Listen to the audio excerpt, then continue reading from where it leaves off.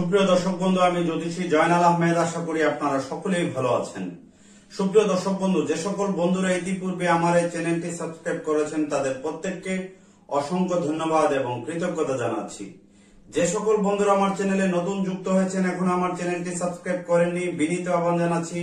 আমার এই চ্যানেলটি সাবস্ক্রাইব করার জন্য পাশে থাকা অল বেল আইকন বাটনটি ক্লিক করার জন্য, যাতে আমার পরবর্তী সকল ভিডিও নোটিফিকেশন সবার আগে আপনার কাছে পৌঁছায়। সুপ্রিয় দর্শক বন্ধু, হস্তরেখার পর্বের আজকে গুরুত্বপূর্ণ একটি বিষয়, রবির ক্ষেত্র শুভ চিহ্ন। রবির ক্ষেত্রে শুভ চিহ্ন থাকলে কি হয় বা রবির ক্ষেত্রে অশুভ চিহ্ন থাকলে কি হয়, অর্থনৈতিক প্রভাব কীভাবে আপনার জীবনে পড়তে পারে, আজকের ভিডিওতে পুরো বিচার বিশ্লেষণ করে আপনাদেরকে জানাব। কোনো স্ক্রিপ্ট না করে পুরো ভিডিওটি শেষ পর্যন্ত দেখবেন। আশা করি ভিডিওটি দেখলে আপনার নিজের সম্পর্কে অনেক কিছুই জানতে পারবেন, অনেক অজানা তথ্য। সুপ্রিয় দর্শক বন্ধু, প্রথমেই আপনাদেরকে হাতের আঙ্গুলগুলো এবং হাতের রেখাগুলো পরিচয় করে দিব। এই যে আঙ্গুলটি দেখতে পাচ্ছেন, এটি হচ্ছে বৃদ্ধাঙ্গুলি যেটি জ্যোতিষশাস্ত্র মতে এটিকে শুক্রের আঙ্গুল বলা হয়। এটি হচ্ছে তর্জনী আঙ্গুল যেটিকে জ্যোতিষশাস্ত্র মতে বৃহস্পতির আঙ্গুল বলা হয়। এটি হচ্ছে মধ্যম আঙ্গুল জ্যোতিষশাস্ত্র মতে এটিকে শনির আঙ্গুল বলা হয়। এটি হচ্ছে অনামিকা আঙ্গুল, জ্যোতিষশাস্ত্র মতে এটিকে রবির আঙ্গুল বলা হয়। এই আঙ্গুলটি হচ্ছে কনিষ্ঠ আঙ্গুল, জ্যোতিষশাস্ত্র মতে এটিকে বুধের আঙ্গুল বলা হয়। এই রেখাটি হচ্ছে হৃদয় রেখা, এই রেখাটি হচ্ছে ভাগ্য রেখা, এই রেখাটি হচ্ছে আয়ু রেখা, আর এই যে রেখাটি আমি দিলাম এখন, এই রেখাটি হচ্ছে মার্শাল রেখা। আপনারা লক্ষ্য করে দেখুন, হৃদয় রেখার নিচের যে রেখাটি, এই রেখাটি হচ্ছে মার্শাল রেখা এবং মার্শাল রেখার মাথাটি ঠিক বৃহস্পতির আঙ্গুলের নিচ বরাবর গিয়েছে। আপনারা লক্ষ্য করে দেখুন, রবির আঙ্গুলের নিচে একটি স্টার চিহ্ন দেওয়া আছে। রবির আঙ্গুলের নিচে লাল কালিতে একটি স্টার চিহ্ন দেওয়া আছে। যদি কোনো জাতক জাতিকার রবির আঙ্গুলের পর্বের নিচে স্টার চিহ্ন থাকে, তাহলে সেই জাতক, জাতিকা অর্থনৈতিকভাবে খুব স্টাবলিশ হয়ে থাকেন। তিনি উন্নত জীবন যাপন করে থাকেন। খুব ধনী পরিবারে জন্মগ্রহণ করে থাকেন এবং রাজস্বিক জীবন যাপন করে থাকেন। রবির ক্ষেত্রে স্টার চিহ্ন যে সকল জাতক জাতিকার হাতে আপনারা দেখতে পাবেন, সেই সকল জাতক জাতিকারা উন্নতিশীল জীবন যাপন করেন, তাদের চলাফেরা স্টাইল অন্যদের তুলনায় একটু ভিন্ন থাকে। এরা জীবনে কখনো অর্থ কষ্টে ভোগেন না। জন্মের পরের থেকেই তারা রাজস্বিক জীবন যাপন করে অভ্যস্ত হয়ে থাকেন। যেহেতু এই জাতক ধনী ঘরে বা বড় লোকের সন্তান হয়ে থাকেন বা বড় ঘরে জন্মগ্রহণ করে থাকেন, তাই এই জাতকের হাতে স্টার চিহ্ন থাকতেই পারে।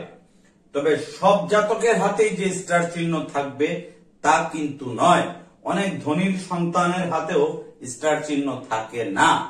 আমি আজকে যে হাতটি অঙ্কন করলাম, এটি একটি ধনী ব্যক্তির হাতের ছেলের হাতের রেখা। যদি রবির স্থানে স্টার চিহ্ন থাকে, তাহলে এই জাতক রাজস্বিক জীবনযাপন করবেন এবং উন্নতিশীল জীবনযাপন করবেন। রবির ক্ষেত্রে স্টার চিহ্ন থাকা শুভ। রবির ক্ষেত্রে যত স্টার চিহ্ন থাকবে, শুভ। যদি কোন জাতক, জাতিকার রবি থেকে একটি রেখা ভাগ্য রেখার দিকে আসে, এই যে রেখাটি আমি ভাগ্য রেখা পর্যন্ত দিলাম, তাহলে মনে করবেন এই জাতক ব্যবসা বাণিজ্য করে জীবনে প্রচুর অর্থ সম্পত্তির মালিক হবেন, ল্যান্ড, ভূমি, মেল, কারখানা, ফ্যাক্টরির মালিক হবেন এবং তিনি ধর্নাট্য শিল্পপতি হতে পারেন সমাজের নাম করা এলিট শ্রেণির ধনী ব্যক্তি হতে পারেন। রবির স্থানে স্টার চিহ্ন বা রবির স্থানে স্টেট চিহ্ন বা সরাসরি কোন রেখা, আঁকাবাঁকা রেখা না থাকা শুভকর। আর এই জাতকের রবির স্থানে যদি স্টার চিহ্ন না হয়, রবির স্থানে ক্রস চিহ্ন থাকে। রবির এই স্থানটিতে ক্রস চিহ্ন থাকে, এই ধরনের ক্রস চিহ্ন থাকে, রবির এই স্থানটিতে।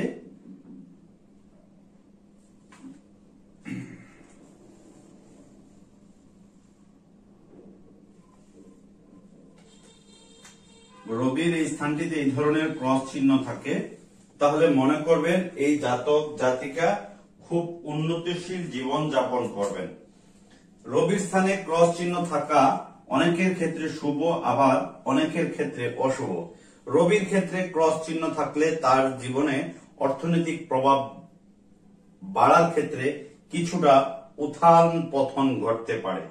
রবির ক্ষেত্রে ক্রস চিহ্ন থাকা মোটেও শুভ নয়। রবির ক্ষেত্রে যদি কালো তিল থাকে এই ধরনের কালো তিল থাকে তাহলে এই জাতক উপরে ওঠার ক্ষেত্রে কিছুটা বাধাগ্রস্ত হবেন এবং উন্নত জীবনযাপন করার ক্ষেত্রে বাধাগ্রস্ত হবেন।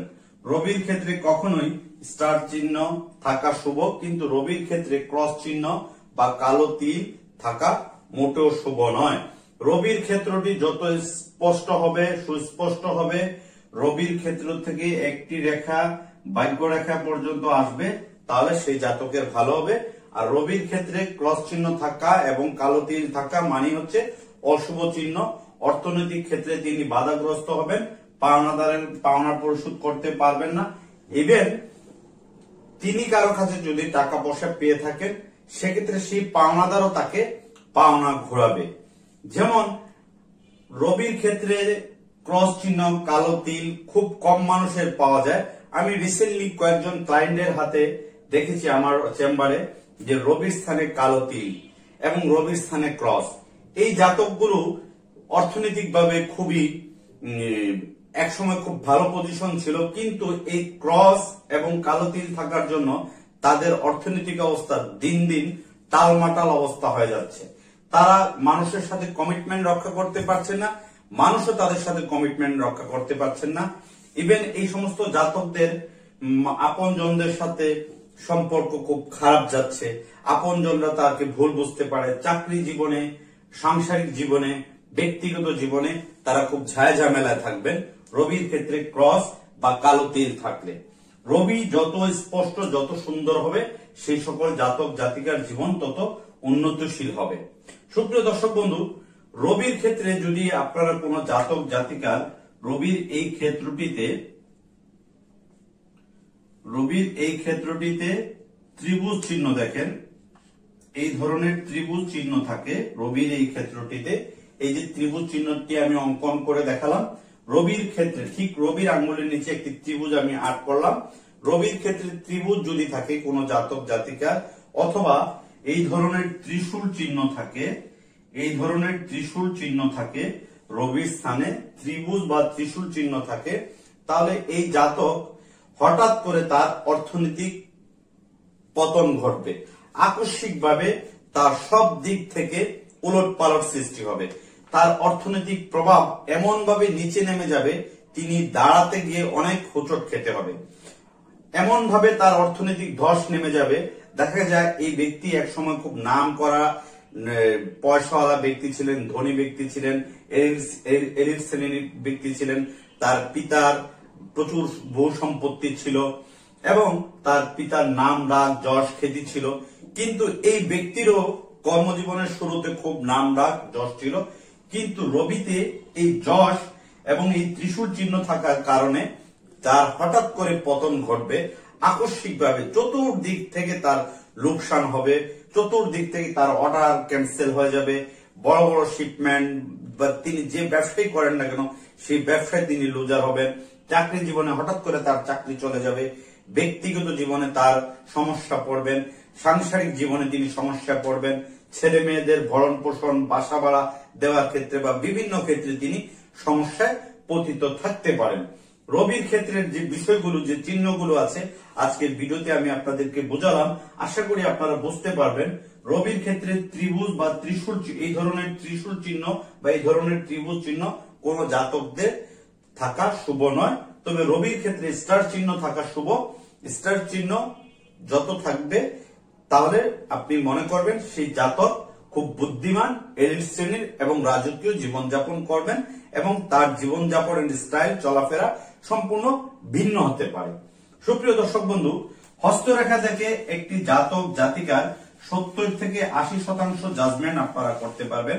এই জাতক, জাতিকার জীবনে কেমন কি হতে পারে এর জীবনটি কত বছরে, কোন ব্যবসা করলে তিনি ভালো করবেন, কি করলে তার জীবনে উন্নতি ঘটবে, হাতের কোন রেখা বিচার বিশ্লেষণ করে, প্রত্যেকটি রেখা বিচার বিশ্লেষণ করলে একটি জাতক, জাতিকা সম্পর্কে আপনি পূর্ণাঙ্গ বিচার বিশ্লেষণ করলে অনেক তথ্য দিতে পারবেন। হস্তরেখার পাশাপাশি প্রত্যেকটি জাতক জাতিকার আমি বরাবরের মতো বলে থাকি যে জন্ম কুণ্ডলীটি করিয়ে নেবেন। এই জন্ম কুণ্ডলীটি হচ্ছে প্রত্যেকটি জাতক, জাতিকার ক্ষেত্রে মোস্ট ইম্পর্টেন্ট আমি আমার পেটটি আপনাদেরকে দেখাচ্ছি। এখানে লেখা আছে, দেখুন জন্ম কুণ্ডলী জন্ম কুণ্ডলী যখন কোন জাতক, জাতিকার তৈরি করবেন, তখন দেখবেন রবি কোন ঘরে বসা, রবি নিচুস্থ কিনা, চন্দ্র উঁচুস্থ কিনা, বুধ নিচুস্থ কিনা, শনি কোন ঘরে বসা, প্লুটো কোন ঘরে বসা, ইউরেনাস কোন ঘরে বসা, কেতু কোন ঘরে বসা, রাহু কোন ঘরে বসা কোন গ্রহটি তার নিচস্থ আছে, এই গ্রহের কারণে তিনি কি কি অসুবিধায় পড়ছেন, এটি কিন্তু আপনারা এই জন্ম কুণ্ডলী ছকটি বিচার করলে জানতে পারবেন। এই জাতকের লগ্ন কি, চন্দ্র রাশি কি, তার তিথি কি, নক্ষত্র কি, বা তার গণ কি, সেটি আপনারা বিচার বিশ্লেষণ করলে, জন্মকুণ্ডলী বিচার বিশ্লেষণ করে জানতে পারবেন এবং বলতে পারবেন। এরপরে প্রত্যেকটি জাতক জাতিকার বিংশোত্তরী মতে মহাদশা এবং অন্তর্দশা। এই জাতকের জন্মকালীন কোন গ্রহের মহাদশা ছিল, কত বছর ছিল, এবং এই মহাদশার কারণে তিনি কি কি সুবিধা ভোগ করেছেন বা কি কি অসুবিধায় পড়েছিলেন, সেটি আপনি বলতে পারবেন। বর্তমানে কোন গ্রহের মহাদশা চলছে বা অন্তর্দশা চলছে, এটি কত বছর থাকবে, কোন সাল থেকে শুরু হয়েছিল, কোন মাস থেকে শুরু হয়েছিল, কত তারিখ থেকে শুরু হয়েছিল, এটি বিংশোত্তরী মহাদশা এবং অন্তর্দশা বিচার করলে আপনারা সঠিকভাবে বলতে পারবেন। এরপরে নবাংশ কুণ্ডলী, এখানে লিখে আছে দেখুন নবাংশ কুণ্ডলী। নবাংশ কুণ্ডলীটি যখন এই ঘরটি আপনারা বিচার করবেন, তখন এই জাতকের কোন পেশাটি ভালো হবে, কোন ব্যবসা গেলে ভালো হবে, বা চাকরি করলে ভালো হবে কিনা, সরকারি চাকরি ভালো হবে কিনা, বা প্রাইভেট সেক্টরে চাকরি করলে ভালো হবে কিনা, বা কোন ব্যবসা করলে ভালো হবে কিনা, যৌথ বিজনেস ভালো কিনা, আত্মীয় স্বজনের সাথে তার সম্পর্ক ভালো যাবে কিনা, বন্ধু বান্ধব, স্বামী, স্ত্রী বা ভাই, বোন, বা আদার্স মেম্বারদের সাথে তার রিলেশন বা কমিউনিকেশনটা কেমন যাবে এটি আপনারা বলতে পারবেন। এরপরে নবতারা চক্র। দেখুন, নবতারা চক্র যখন বিচার করবেন, তখন এই জাতক, জাতিকা সম্পর্কে আপনি অনেক গুরুত্বপূর্ণ তথ্য দিতে পারবেন। নবতারা চক্র যখন বিচার করবেন, এই জাতকের কোন গ্রহটি খারাপ আছে, সেই গ্রহ অনুযায়ী তার কি করা উচিত, কোন প্রতিকারটি তার করা উচিত, সেটি ভালো করে বিচার বিশ্লেষণ করলে আপনারা বলতে পারবেন। আগেকার যুগের অনেক পিতামাতা তাদের ছেলে সন্তানদের জন্ম তারিখ লিখে রাখেননি। আমার চেম্বারে অনেক ক্লায়েন্ট এসে বলেন যে জন্ম তারিখ জানেন না। কিন্তু জন্ম তারিখ যদিও যে কেউ না জানা থাকে অল্টারনেটিভ ফর্মুলা আছে জ্যোতিষ শাস্ত্রে যেমন সংখ্যা, তত্ত্ব, বিচার, যাকে আমরা নিউমারোলজি বলি। সংখ্যা, তত্ত্ব, বিচার। সংখ্যা, তত্ত্ব, বিচার।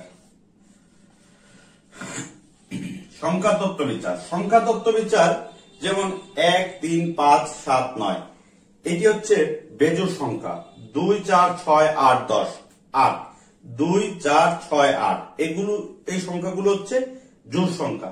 সংখ্যা তত্ত্ব বিচার করলে এই জাতক সম্পর্কে আপনি বলতে পারবেন, এই জাতকের বর্তমানে কোন গ্রহটি খারাপ আছে, এই গ্রহের কারণে তিনি কি কি সমস্যা পতিত হচ্ছেন, কোন গ্রহটি ভালো আছে, এই গ্রহটি ভালো থাকার জন্য তিনি কি কি সুবিধা ভোগ করবেন এটি সংখ্যা তত্ত্ব বিচার এবং হস্তরেখা বিচার করলে আপনারা বলতে পারবেন, তারপরে এই জাতককে প্রতিকার করবেন বা উয়ে দেখাবেন যে আপনি এই পথে হাঁটলে আপনি আলো পাবেন।